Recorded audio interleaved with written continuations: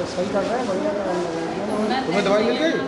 नहीं मेरी लड़की को कुत्ता खा गया इसके लिए भी क्या है? क्या इसको कुत्ता खा गया लड़की को। हाँ। तो इंजेक्शन यहाँ से लिख दिया वहाँ वहाँ से लौटे फिर आए फिर मना कर दिए। है नहीं। नहीं है। हाँ दोबारा फिर अब बजट आने के बाद में 2000 इंजेक्शन का हमने डिमांड भेजी हुई है।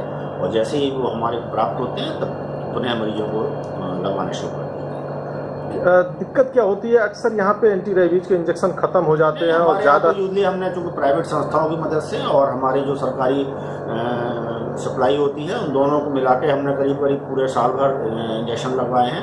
अभी इतफाक की बात है कि इधर बीस तारीख को हमारे यहाँ ख़त्म हो गए हैं तो इसलिए वो नहीं लग पा रहे हैं। और हमें उम्मीद है कि शीघ्र ही जैसे ही हमारे पास इंजेक्शन की आपूर्ति होगी तो फिर पुनः ये सुविधा सबको खपत